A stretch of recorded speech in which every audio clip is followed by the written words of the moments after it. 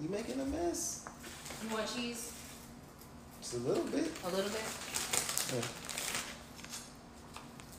You Why want are you making cheese? a mess? Do you want any more cheese? Am I in the doghouse? Do you need a paper towel? Come on, hurry up. I thought we was having tacos. We are. How many tortillas do you want?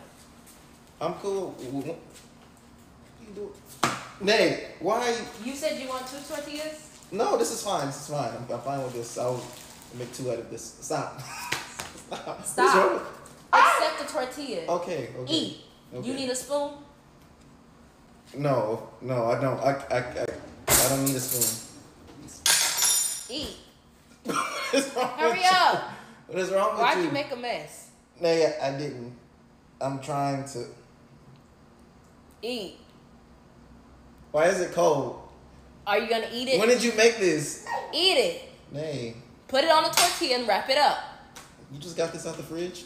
You ain't gonna warm it up for you, boy. Eat it. What did I do? Put it on there and eat it. Am I on the couch tonight? Are you gonna eat or not?